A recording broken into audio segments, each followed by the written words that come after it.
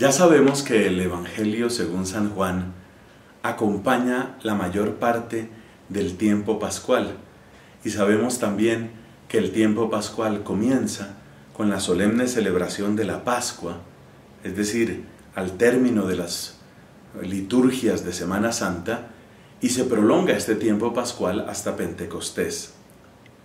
Juan nos va acompañando, nos va guiando, entre otras cosas, porque Juan le da densidad a las palabras. Densidad a las palabras.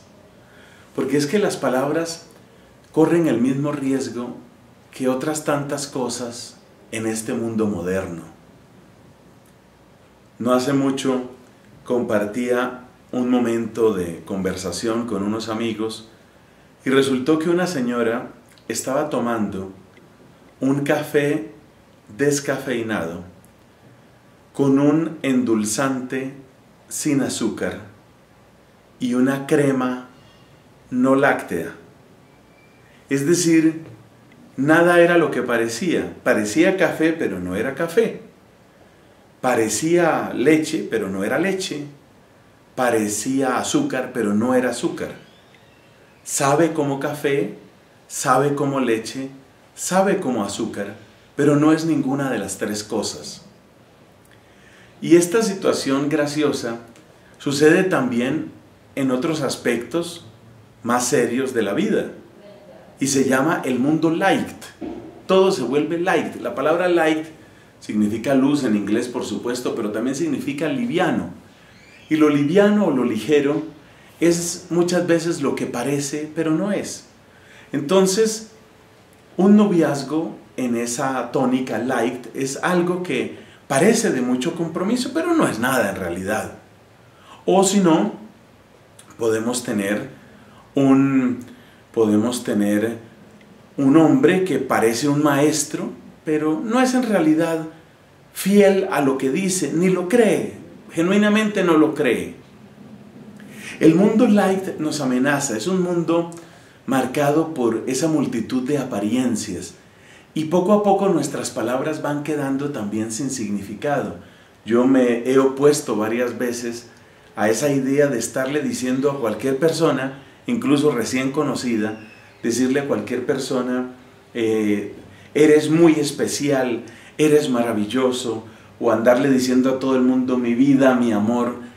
Eso finalmente produce que las palabras no tengan significado. Si una persona por ejemplo, que atiende un almacén, le dice a 50 personas en el día, mi amor, pues ninguna es su amor. Así de sencillo.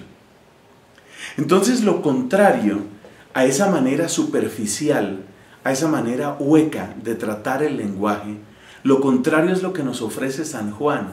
San Juan le da peso, peso específico a las palabras. Por ejemplo, a la palabra luz en el día de hoy, capítulo 12 de San Juan. Cuando Jesucristo dice que Él es la luz, que Él ha venido para dar luz a nuestra vida.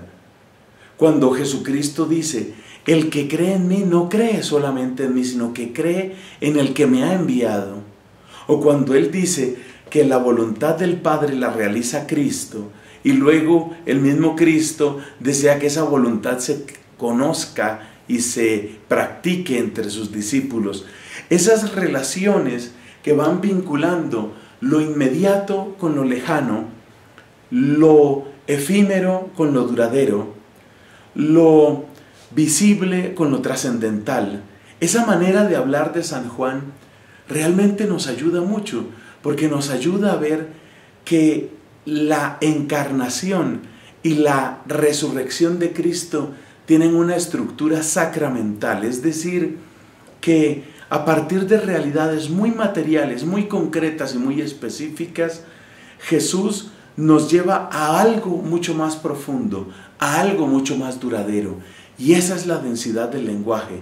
Por algo, este es el mismo Evangelio que nos dijo, en el principio existía la palabra, pero la palabra se hizo carne y habitó entre nosotros.